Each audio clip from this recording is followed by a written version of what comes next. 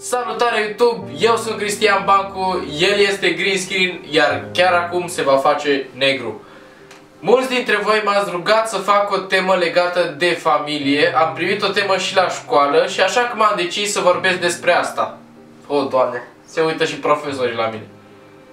Frecvent dacă mergeți cu autobuzul sau alt mijloc de transport în comun o să auziți vorbe precum nu-mi place România, nu am ce să caut aici sau plec în afară pentru că aici nu am cum să trăiesc. Azi oamenii își plâng viața din cauza diferitelor greutăți, dar oare plecarea peste hotare este o soluție bună? Păi să zicem că ai o familie, soț, soție și copil. Atât, un copil. Unul dintre părinți se hotărăște să plece peste hotar pentru că nu îi convine viața din România plecarea unuia dintre soți atrage după sine separarea, iar în unele dintre cazuri, chiar și intrarea în noi relații. Când unul dintre soți pleacă afară din țară, se gândește doar la bani, bani și iar bani. Nu se gândește și la viața de cuplu, ce va urma după ce va pleca. Dacă soții nu se înțelegeau înainte de despărțirea temporală, cu atât mai puțin se vor înțelege acum. În plus, pe umerii partenerului rămas acasă se apasă acum toată responsabilitatea familiei. Se ivesc probleme, se acumulează frustrări, tensiuni și nemulțumiri, iar de aici până la divorț sau destrămarea familiei este un mic pas. Și ce facem cu copilul? Părintele i-a promis când a plecat de acasă că va avea o viață mai bună după ce se va întoarce.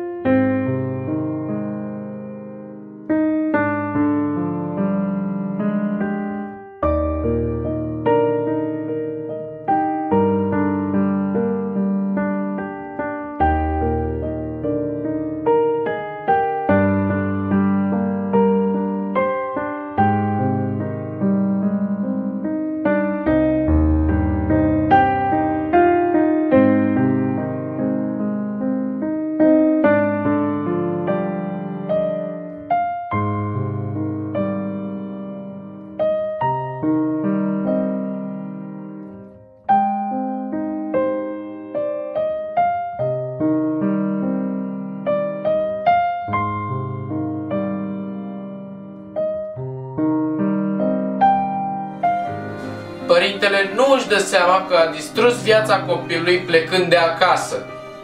În plus, copilul devine vulnerabil la tentațiile străzii și este atras spre consumul de droguri. În România sunt foarte multe drame de acest gen. Oare cine le observă? Oare cine este responsabil pentru acești oameni care mor nevinovați? De ce să-ți lași familia când ai atâtea lucruri frumoase de făcut cu ei? De ce? Pentru ce?